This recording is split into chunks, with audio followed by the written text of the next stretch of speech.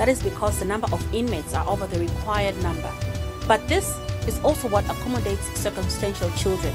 Now, these are children that are born while their mother is serving a prison sentence or they are incarcerated, incarcerated while they're under the age of four. This is Nightlife. We'll take a break.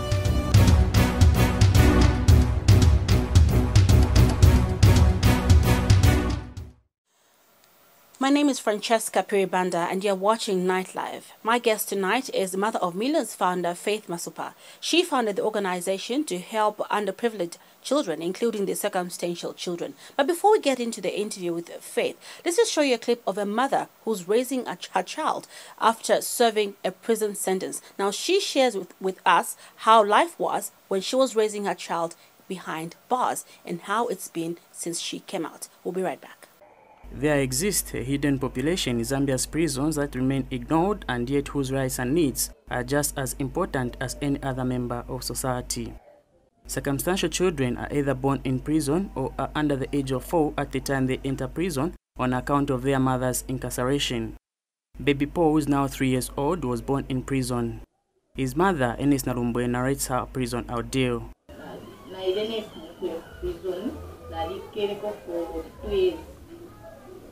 And then um, four months pregnant. Kuna ile kuya na dikere ko for one month. Shek mana mother vision zush ko te support family and she is tabanu so ki trash de ambo kukara ba mother zo vision de wa shi de ko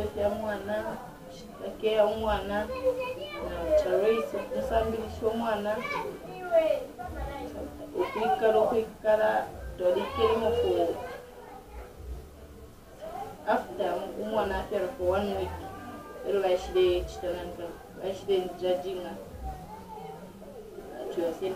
twamikaka twakaka 18 months. How did Paul and indeed other circumstantial children survive harsh prison conditions? Mother of Millions is a non-governmental organization that helps women and circumstantial children to integrate in society after prison life. Faith Masupa is the founder of the organization. Our focus has been with the circumstantial children and the female in, in the prison. So, um, in working with the prison, just at Chimbokaila alone, we have taken care of over 500 children. And we've also been um, offering skills of reintegration, helping the girls to reintegrate into society once they're released from prison to find, at least find a standard. There is an urgent need for government and other stakeholders to swiftly move in and emulate mother of millions if the plight of circumstantial children is to be resolved. Peter Schadi, Diamond News. So, Faith, welcome to Nightlife once again. What motivated you to venture into charity work? Thank you so much, Francesca, for having me. I ventured into this work, particularly Mother of Millions Foundation and the prison service um, with children in prison. Uh, when I was pregnant with my first son, I was driving past the prison and I had no idea what was behind the prison bars. I was prompted to stop and when I found out that there were children being born and raised in prison, I couldn't keep silent because I realized that these children became prisoners of the law when they had committed no crime. They started serving the same sentence as their mothers. And so I just thought this could be my child, you know, and I needed to do something about that. So that prompted me to do what I do today. And just how big is this problem of circumstantial children, especially when we talk about numbers within the prison facilities around the country? We have a persistent number. We have uh, this actually is a huge challenge because every nearly every prison in Zambia has children mm-hmm. in it. For example, currently, if you went to Chimbokaila, popularly known as Lusaka Central Prison, you'll find about 18 babies as I'm speaking to you right now. When we started our class six years ago, we had 42 children in prison. Now you realize that these kids are sleeping in the cells, they're eating the same food as their mothers, they're going to the same toilets as the adults, and also the language is that of a prisoner.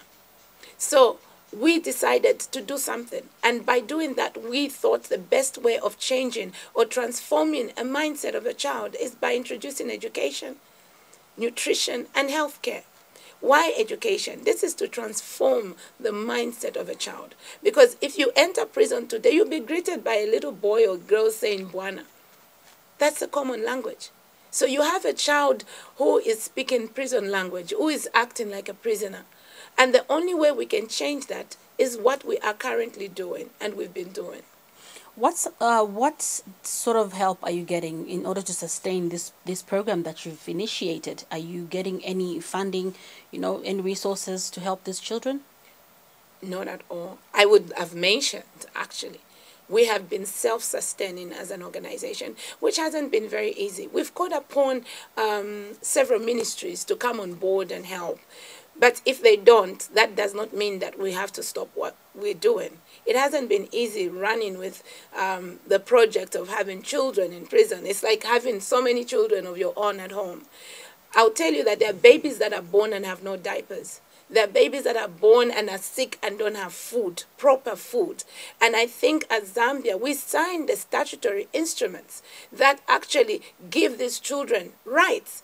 And this is a small group, a population that can be controlled, that can be managed, and is not managed properly even by our committed bodies or ministries that are supposed to run with this. So we have a small, or rather a marginalized number of children that are not considered as compared to other children and whose rights are uh, violated nearly every single day. I'll give you an example of um, one of our children. He was playing one afternoon and he was with a teacher. And um, it was time to be locked up. So he had his ball and he was busy playing. And the mother just quickly got him and said, Oh, you've got to go in. And this was broad daylight. It wasn't like it was dark, and he still wanted to play. So now you tell me what's the difference between a prison and that child who's been locked up at the same time as their mother? So we can only do what we have done, and we are proud to do what we do today, with or without support. We will not stop doing it. And what has been response from government in terms of helping out, especially ensuring that the circumstantial children do not suffer psychologically when they're out of prison? The first five years of a child are the most fundamental. It's in the first five years of the child that a child picks up everything the trauma, the psycho- psychology effects, the reactions. I think the first five years were crucial. I can remember exactly what happened to me. You know. Now imagine the first place your child knows home is a prison cell. So I feel the government, honestly speaking, needs to step up. They've done very little as regards the marginalized group of children. I've been on the ground. I would love to be challenged if someone came up and said, we've done this. I would like to I would like them to show me what they've done, really, if they have to show me to say, this is what we have done, this is what we're doing, this is so much that we've allocated to this number of children. Mm-hmm. And these children need the support of this government and many other governments because, look, they know no political party. They are the future leaders of tomorrow. They are the silent voices that are suffering together with traumatized mothers. When a prisoner who is a mother was sent into prison, this child is listening to everything that goes on. If there are fights within there, the child is present. If there is vulgar language, the child is present. Whatever affects the prisoners, the child is equally affected. And so, what would be some of your recommendations to government to ensure that that child's rights are protected? Firstly, the government should be on the ground. They should, I feel, appreciate some of uh, probably our presence there. Because, look, we're not, we're complementing their efforts. All right? We are there and we're complementing their efforts. But we can only do so much when we partner together with the government. And I feel we need to uphold the rights of these children. One, they need to realize that children in there are malnourished. There are times when we have children who are born with HIV and sometimes are probably not even taken care of, you know, nutrition wise. You know, we have mothers that are equally infected or affected, and some of them don't know how to take care of themselves. So imagine if a mother has a monthly period, for example, please pardon my language, and a child comes across a sanitary towel that is dirty. because that's an environment. It's a prison environment. You can't take that away. It's not a home. Okay, so these all these things affect these children. So children need a home space. The children need a proper space. Children need a good education. Remember that it's enshrined in the constitutions, uh, the CRC, that a child has the right to be with its mother. But in its best interest, the government equally has a right to look at the best interest of that child. So I recommend that if we cannot take the child from its mother, let's create a mother baby facility. Facilities that accommodate and give space and privacy and also give the rights of these children, you know, let the children enjoy their rights. So I recommend our organization because even if we've not had resources, Francesca, even if we've not had partnerships, and I'm so proud to say this boldly saying it, we have made a difference in the lives of over 500 children just at Chimbokaila since we started over six years ago, and still making difference in the lives of other prisons across Zambia. There's a lot to be done.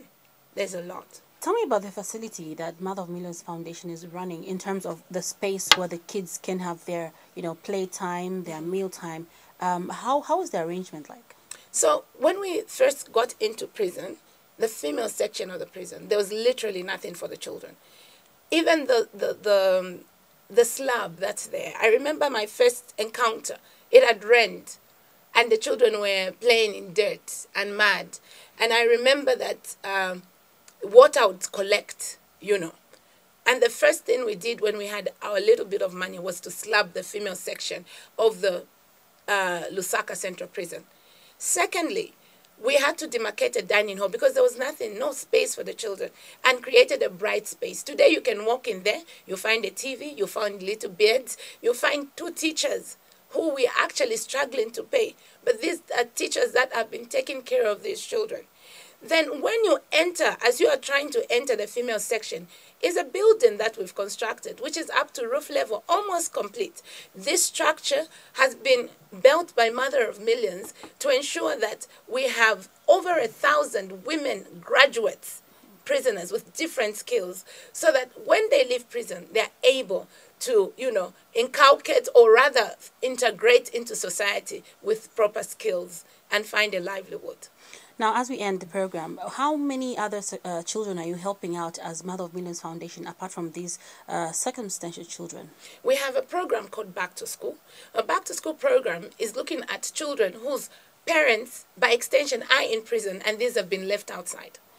Whenever a father or mother is in prison, there are children who are left outside, who are left in the streets. So we have a program called Back to School, where we've begun to trace the children of these prisoners who are in prison and getting them back into school. We also have a project in Sandulula, or rather Buchi Kamitondo, where we're trying to, you know, give skills to young people because of the gangs that have you know built up. And remember zambia is sitting on a time bomb. On the other hand we're raising good children but on the other hand there's less that is being given to these other children. And that's why you find that within these townships there are all these little gangs. And so mother of millions foundation got into a partnership or rather an mou which was still trying to settle with a kitwe city council um, where we um, we've been given a, a, place called Sandulula. This is a center where we're trying to breed or bring these young people and encourage them to get into schools, encourage them to get into skills, and just to avoid children getting in conflict with the law. So basically, our projects are there to ensure that as we are raising good children at home, we're able to also consider the children that are unable to go to school, unable, they're coming from poor, stricken families, mm-hmm. you know. Those children equally deserve a future. And tell us about this BBC award that you've been nominated uh, for. So, thank you so much. Um, BBC Outlook nominated me amongst thousands. Of course, I'm on the tw uh, top 20 nominees, and uh, it's because they recognized the work that um, we are carrying out as an organization. So um, we'll be getting our results perhaps um, in June, and uh, we're hoping for the best. And I'm, I'm so grateful that we've been recognized um, worldwide. And I hope we can make a difference together as a country, as a nation, but as African, we combat this issue. This is a very, very important issue. This has been Nightlife, and today we were discussing circumstantial children with Mother of Millions found, uh, founder Faith Masupa. My name is Francesca Phiri-Banda. Good night.